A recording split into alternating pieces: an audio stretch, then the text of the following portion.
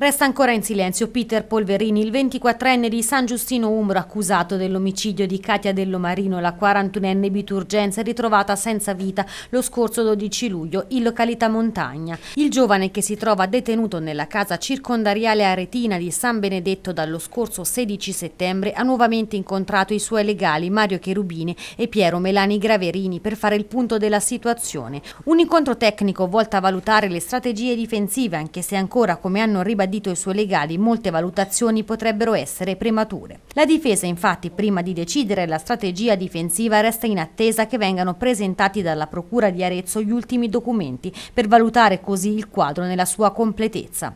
Alla fine di questa settimana al massimo all'inizio della prossima i legali torneranno in carcere dal loro assistito. Potrebbe essere proprio il prossimo incontro l'occasione per decidere la strategia difensiva e soprattutto se chiedere o meno il rito abbreviato.